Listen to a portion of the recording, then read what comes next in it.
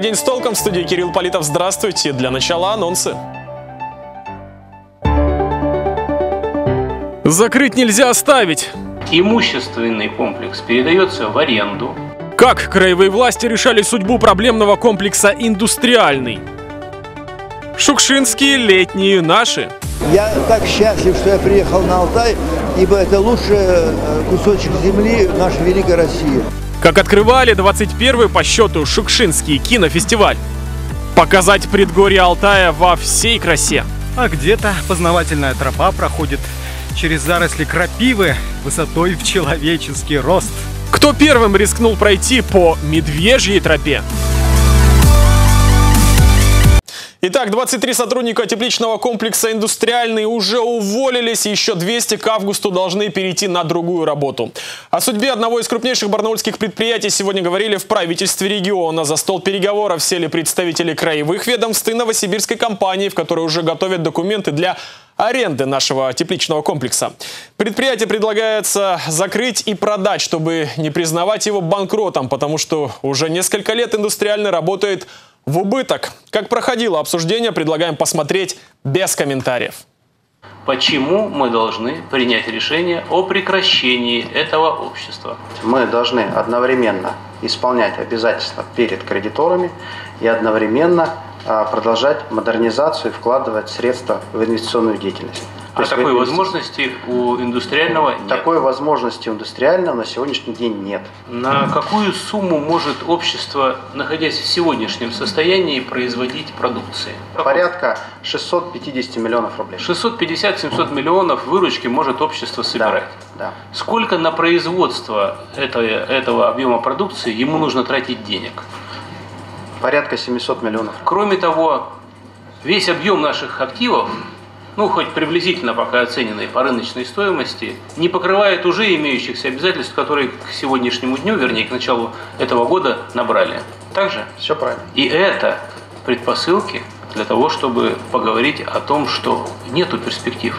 Все процедуры ликвидационные а, с учетом установленных э, законом э, э, действий составят не менее 6 месяцев. Путем через заключение аренды на год то есть мы, в принципе, то есть это рассмотрели, принимаем, то есть данное предложение такое, готовы заключить. И на этот год уже у нас есть составлен план инвестиций в районе 230 миллионов рублей.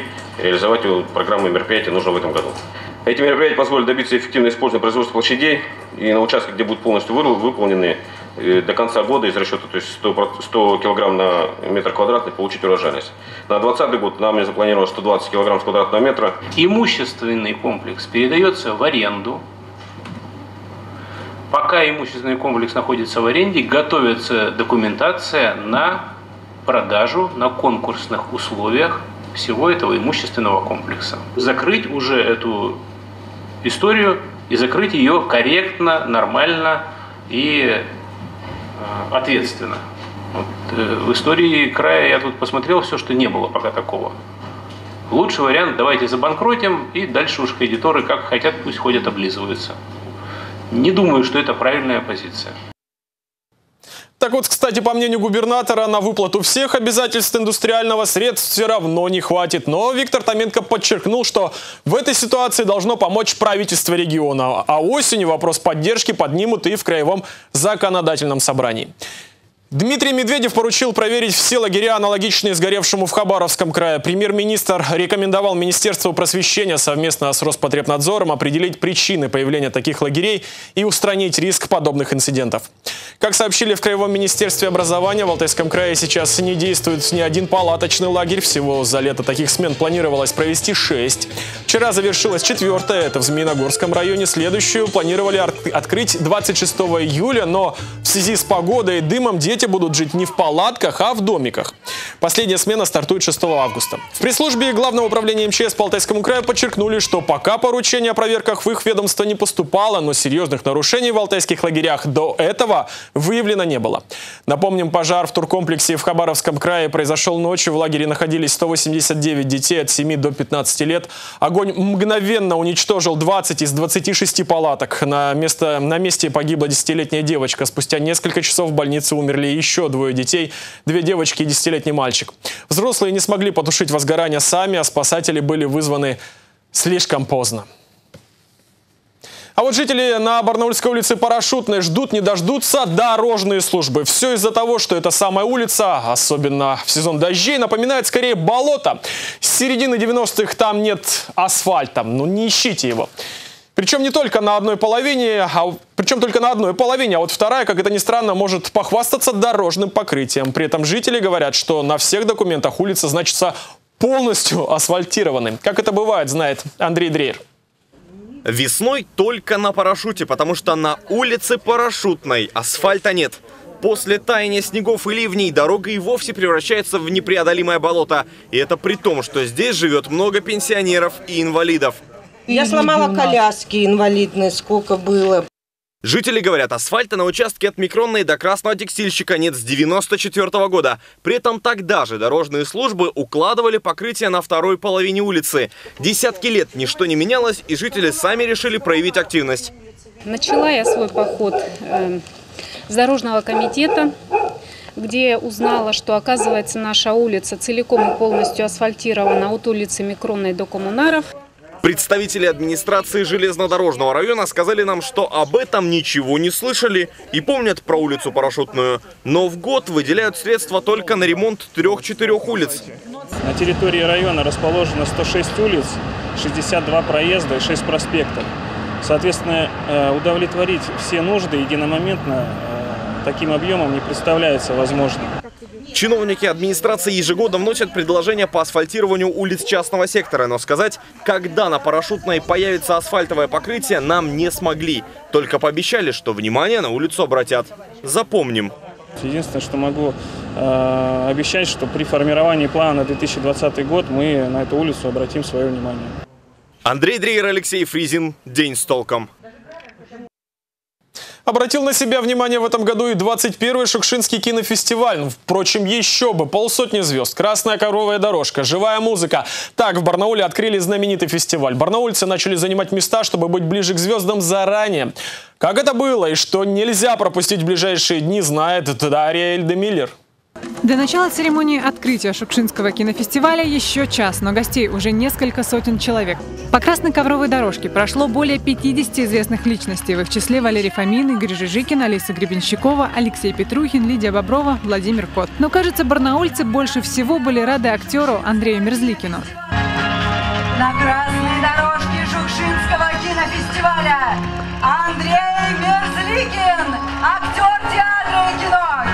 А вот президент 21-го Шукшинского кинофестиваля Виктор Мирешко вообще на некоторое время пропал с красной ковровой дорожки.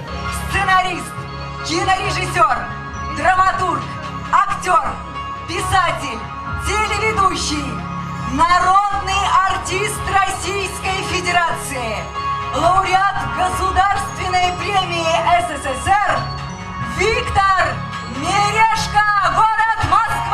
Но позже народный артист вернулся на путь и побил рекорд по популярности. К театру драмы Мирешка шел не меньше 10 минут. Это ответственность и радость. Я так счастлив, что я приехал на Алтай, ибо это лучший э, кусочек земли нашей великой России.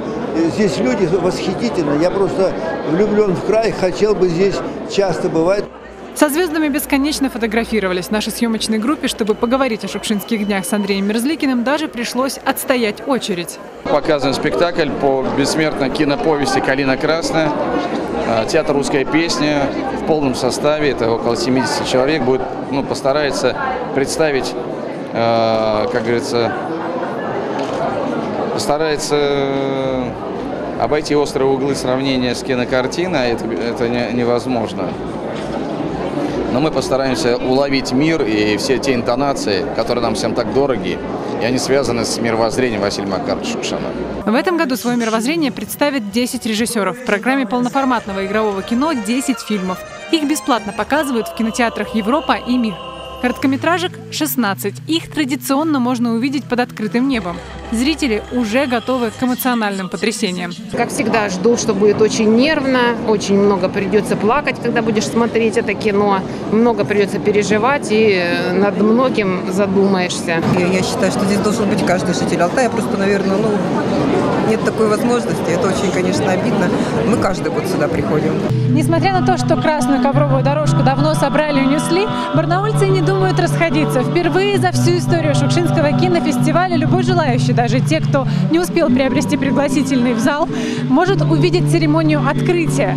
Прямо на экране около театра драмы выводятся изображения со всеми номерами, выступлениями. И для людей поставили лавочки, чтобы они ничего не пропустили. На сцене тем временем настоящие народные гуляния. Традиционная хореография, песни, масштаб фестиваля впечатляет не только наших земляков, но и гостей Алтайского края. Мы шли сегодня по красной дорожке, я вдруг подумал, что, наверное, не только в России, а в мире нигде нет такого кинофестиваля, где бы так по красной дорожке прошло столько писателей на его открытие. И, конечно, мы этим обязаны Василию Макаровичу Шукшину, который каким-то удивительным образом соединил в одном лице своем вот эти три и близкие, конечно, очень искусства, но на самом деле очень разные. Девиз кинофестиваля не меняется уже несколько лет. Нравственность есть правда. Это и есть главный критерий отбора работ. Алтайские зрители могут увидеть кинокартины, которые еще не были в большом прокате. Миссия, предназначение, если сказать по-русски, нашего кинофестиваля, конечно, в том, чтобы подарить, показать нашим зрителям э, современное, качественное, высокое, высокого искусства э, российское кино. Билеты на показы конкурсных фильмов бесплатные. Их можно было взять в кассах кинотеатров. Но сейчас это вряд ли возможно. Количество фанатов Шукшина и ценителей его творчества растет с каждым годом. Дарида Миллер, Николай Шелко. День с толком. Наверняка зарубежные гости захотят опробовать новую туристическую точку на карте нашего региона. Речь идет о новой экологической тропе, которая появилась в этом году в предгорьях Алтайского края. Это больше 17 километров пешего маршрута по труднопроходимой тайге Чинитинского заказника. Путь под названием «Медвежья тропа». Первыми из туристов маршрут опробовали, вот не поверите, школьники, участники летнего географического лагеря Русского географического общества. Илья Кочетков прошел этот путь вместе с ними и оценил, какие трудности, радости и открытия могут ждать будущих туристов на этой тропе. Раннее утро, юг Алтайского края, кордон заказника Чинитинский. Это особо охраняемая природная территория, раскинувшаяся почти на 70 тысяч гектаров. Тайга, горные реки, перевалы, ущелья, равнины. Настоящий медвежий рай. Недаром тропу назвали «Медвежья». Чуть раньше по ней прошли подготовленные специалисты, но вот туристов она встречает впервые причем детей, участников летнего географического лагеря. Ну, 17 километров, по сути, не так уж много, но здесь такие большие перепады высот. Да. Так что посмотрим, как дети справятся. Специалисты Алтай природы объясняют, экологическая познавательная тропа – это не просто дорога из точки А в точку Б. Ее планируют со смыслом. Назначение медвежьей – показать алтайские предгорья во всем разнообразии ландшафтов, животного и растительного мира. А егерь Валерий Ларионов, один из авторов тропы, говорит, специально проложил ее еще и так, чтобы можно было проникнуться подлинным уважением к природе. Чтобы человек мог насладиться природой и познать себя. Некоторые два, два шага делают и говорят, что они крутые, но когда проходят 17 км по горам, вот тогда испытай себя. А испытания, скажу от себя, были буквально на каждом шагу. А где-то познавательная тропа проходит через заросли крапивы высотой в человеческий рост. Подъемы и спуски, жара, местами комары. Юные географы в полной мере ощущают на себе все, что чувствовали все настоящие путешественники в те времена, когда Землю изучали вот так, шаг за шагом, и одновременно вели путевые дневники. Ребята пытаются понять, на какой форме рельефа они сейчас находятся. То есть определили крутизну склона, определили координаты местонахождения и высоту. Разумеется, все интересовались, если медвежья, то где тогда медведи? Егеря отшучивались, мол, вы всех распугали, но на всякий случай были наготове. Зато, выйдя на огромное плато, встретили табун вольно пасущихся лошадей, как это было в те древние времена, до того, как их приручил человек. Вишенкой на торте стал спуск в пещеру Небинскую. Здесь сохранились отпечатки древней морской фауны, которая способна поведать самую раннюю историю Алтая. Возраст примерно Ордовик Силур, то есть 380-450 миллионов лет. Причем видно, что залегание идет пластами. Это означает, что здесь был условия современного Красного моря, то есть теплое, соленое, мелкое море. В итоге дети признались, несмотря на то, что тропа непростая, а может благодаря этому, она способна научить чему-то очень важному. Что-то чувствует животное между человеком и самим собой, что вот, например, ну, я думаю, животные чувствуют, что человек, он не сделал ничего плохого, ну, именно вот мы, например, мы не сделали ничего плохого для природы, потому что мы приехали с той целью, чтобы изучить природу и что мы, мы не вредители природы.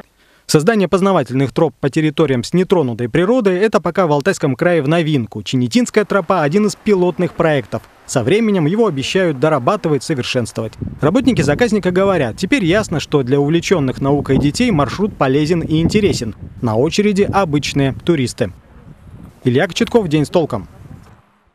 Наш путь по выпуску традиционно завершим погодой. Какой она будет, узнаем через несколько секунд. Спонсор прогноза компания «Эвалар». У меня к этому часу все новости. Берегите себя.